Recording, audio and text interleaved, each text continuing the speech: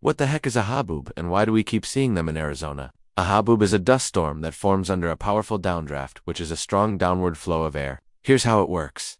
The sun heats the ground, which radiates heat upwards. If there's enough heat and the conditions are right, it can form a thermal, a rising column of air. As it rises, it starts to cool, which forms clouds. If the air rises fast enough, it can form a cumulonimbus cloud, which is a thunderstorm cloud. And if that happens in an area with loose soil, like Arizona, the downdrafts can pick up all that dirt and dust and form a huge dust cloud. That's a haboob. They're harmless, just really, really dusty, and sometimes they can be quite beautiful. Haboobs typically form in the afternoon when the ground has had time to heat up, and they usually dissipate by the evening. If you live in Arizona or any other state that has a significant amount of loose soil, like Texas, New Mexico, Utah, or Nevada, you'll probably see them more often. In the summer, the most common place to see them is out west, near the Four Corners region, which is where Arizona, Utah, Colorado, and New Mexico meet. The word haboob comes from Arabic. It literally means violent wind. Now it's a noun, but before it was a verb, meaning to blow up. So the next time you're in Arizona and you see a huge dust storm coming your way,